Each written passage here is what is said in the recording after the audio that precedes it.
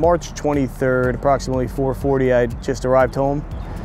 Uh, it was my anniversary and I had some chores to do at my house before the rain came in. I had heard a loud scream from the street. So when I looked over there, I saw a car pulled over to the side of the road and they proceeded to pull away from my house. So I kind of went back to what I was doing. And several seconds later, I heard the screaming continue. So at that moment, I knew something was wrong. So I immediately kind of dropped what I was doing and ran over to the uh, side of the road.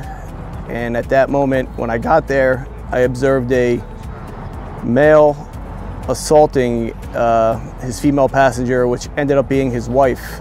Uh, kind of dropped everything and grabbed the guy. I pulled him out of the car and I got him to the ground and we wrestled for a little bit and I was able to subdue him and hold him down. At which point the uh, female passenger, his wife, exited the vehicle and she came around the back and she was holding a knife that had been used against her. And she had several, I think it was nine stab wounds to the face and three to the rest of her body, including her thumb, which was pretty much barely hanging on. So at that moment, I kind of realized the severity of the situation and it really sunk in how real it was. So finally, a 70 year old war vet pulled over and he grabbed a weapon from his car and he stood by. And what seemed like 20 minutes ended up being around five. The uh, police finally showed up and uh, they took control of the situation.